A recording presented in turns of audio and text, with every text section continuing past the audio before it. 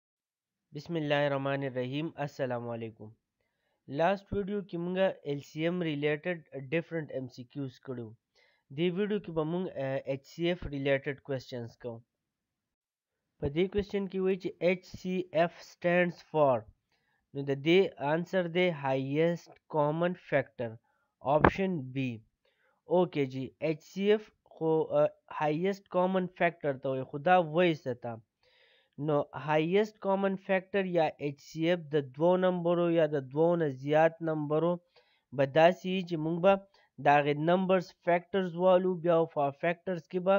په هغه دوو نمبرو یا په دریو نمبرو کې چې کم کامن فیکټرز یې هغه به والو او بیا په کامن فیکټرز کې چې کم یو غټ فیکټر یې نو هغه به مونږ واخلو هغې ته به مونږ وایو چې دا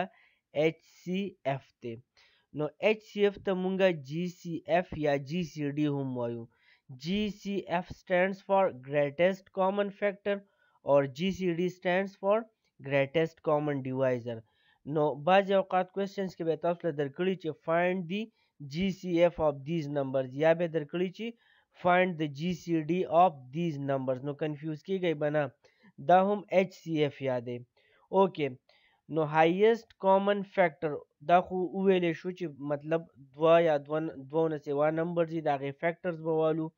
بیا به فیکټرز کې کامن والو په کامن کې چې کم غټي نو هغه به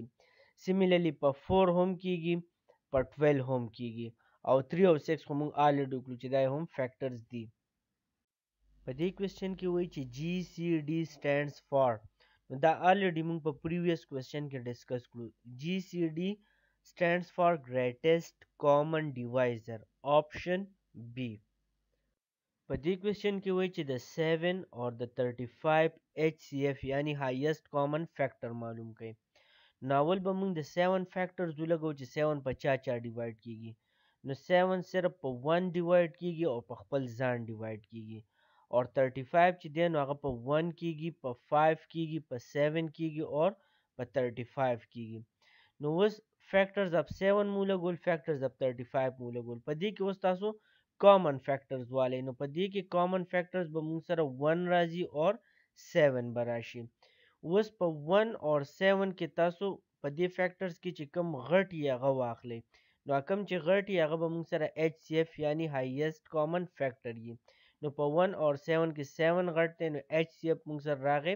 7 آپشن ا په دې کوېسچن کې وایي چې د 12 اور د 15 ایچ سی ایف معلوم کړئ نو اول به موږ د 12 فیکټرز ولګو نو 12 په 1 ډیوایډ کیږي په 2 ډیوایډ کیږي په 3 ډیوایډ کیږي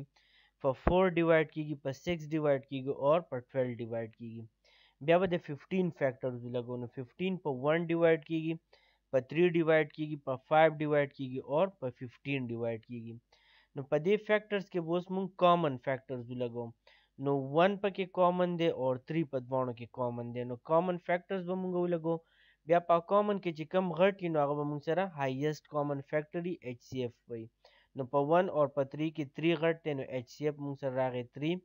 آپشن سی از کریکټ.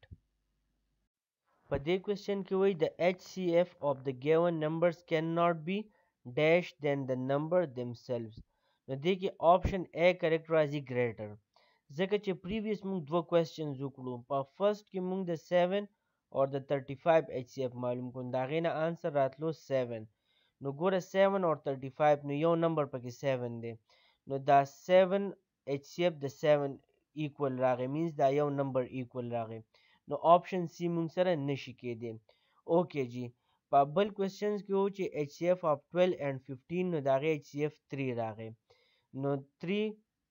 آپشن بی مینز چې د 12 نه هم کم دی د 15 نه هم کم دی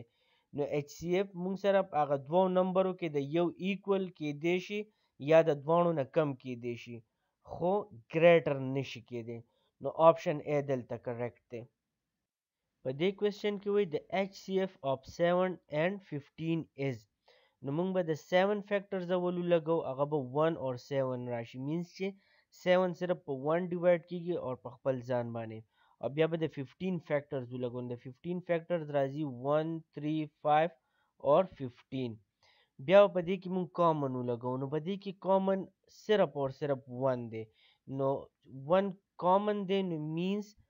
چې هایست کامن فیکټر یا ایچ سی اف هم 1 دی اوکه نو آپشن ډي زموږ سره کریکټ دی خو یو خبر تاسو نوټ کړئ چې د کم دوو نمبرو ایچ سی اف 1 راشي نو هغه دوو نمبرو ته به موږ کو پرایم نمبرز وایو هغه دوه نمبرز چې د هغې ایچ سی اف د 1 برابر راشي نو هغه نمبرز ته به مونږ کو پرایم نمبرز وایو نو 7 اور 15 چې دی دا کو پرایم نمبرز دي اوکې نو دلته آپشن ډي مونږ سره کریکټ دی په دې کوېشن کې وایي وین د ایچ سی ایف آف ټو نمبرز از 1 دے آر کال ډیش نمبرز نو آلریډي پریویس کوېشن کې مونږ وکړو چې کله د دوو نمبرز ایچ سی ایف 1 راشي نو هغه دوو نمبرز ته به مونږ کو پرایم نمبرز وایو نو دې کې آپشن ای کریکټ دی اوس مونږ یو اهم فارمولې طرف ته راځو هغه فارموله دا ده چې ای ملټیپلای بی از ایکول ټو ایچ سی ایف ملټیپلای ایل سی ایم د دې مطلب دا دی چې ای او بی مونږ سره دوه نمبرز دي نو د دې پروډکټ به برابري د ایچ سی ایف ملټیپلای ایل سی ایم ایچ سی ایف مطلب چې د دوو نمبر دا کم ای او بی چې کم نمبر دی د دې ایچ سی ایف به واخلو او د دې ای او بی د دې دوو نمبرو ایل سی ایم به هم واخلو نو هغه دوو نمبرو له چې موږ ملټیپلیکیشن ورکو او د هغې ایچ سی ایف او ایل سی ایم له ملټیپلیکیشن ورکو نو آنسر به تې سیم راځي په دې کوېسچن کې وایي ګریټیسټ کامن ډیوایزر آف ټو نمبرز از 8 نو ګوره ګریټیسټ کامن ډیوایزر د دې مطلب ایچ سی ایف دی نو ایچ سی ایف د دوو نمبرو هغه 8 دی وایل دیر لیست کامن ملټیپل از 144 مطلب دا شو چې ایچ سی ایف 8 دی او ایل سی ایم 144 دی نو وی فایند د ادر نمبر اف ون نمبر از 16 نو وای یو نمبر مونږ سره 16 دی نو تاسو بل نمبر معلوم کړئ نو ګوره پریویس فارموله کې مونږ وی چې A کراس B ویل بی ایکول ټو HCF ملټیپلای LCM نو وس یو نمبر خو راکړی هغه 16 دی نو دویم نمبر به مونږ معلومو نو تاسو صرف ویلیوز پورټ کړئ نو د A په ځای باندې تاسو 16 پورټ کړئ د HCF په ځای باندې 8 پورټ کړئ او د ایل سی ایم په ځای باندې 144 پوټ کوي اوکې جی نو دا پوټینګ چې مونږ وکړو نو 8 له به په 144 کې ملټیپلای ورکړو دینه به 1152 راشي او بیا به داسې کار وکړو چې مونږ بی مطلب سیکنډ نمبر معلومو نو دا 16 به دواړو طرفونو ته ډیوایډ کوو نو چې 16 دواړو طرفونو ته ډیوایډ کوو نو مونږ سره به آنسر راشي 1152 ډیوایډ بای 16 نو د دې نه به انسر راشي 72 نو آپشن سی دلته موږ سره کریکټ دی نو هغه فارموله موږ یوز کړه A ملټیپلای B is equal to HCF ملټیپلای LCM نو موږ سره سیکنډ نمبر راغی هغه 72 دی آپشن سی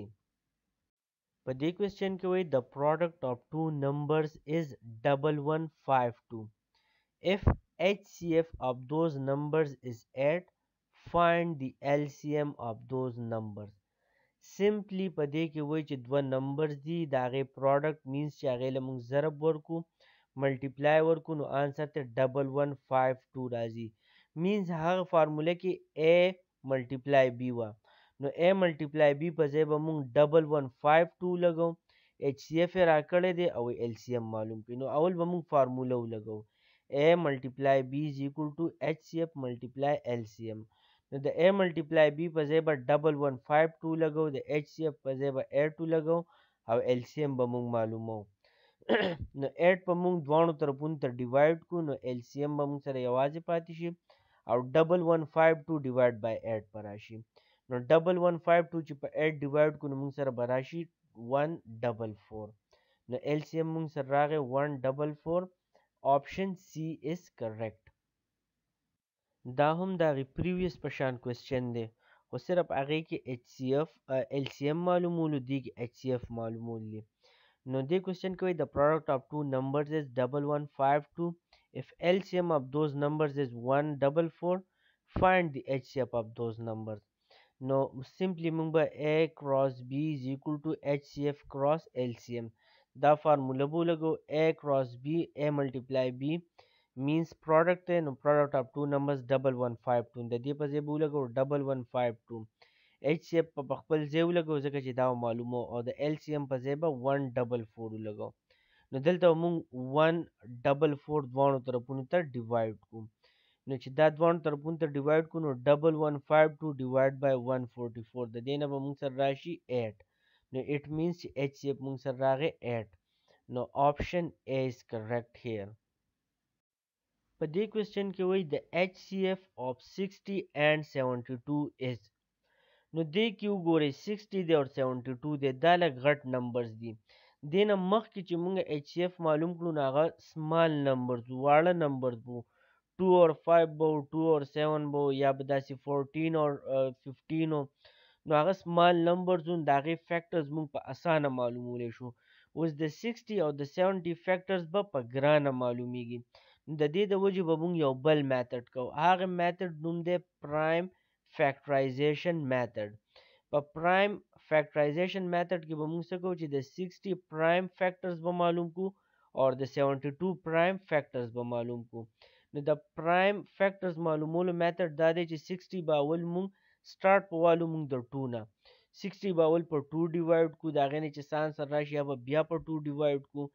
که په ټو نه کېږي په تري به وکړو که په تري نه کېږي په فایب به وکړو او سیمیلرلی داسې به پسې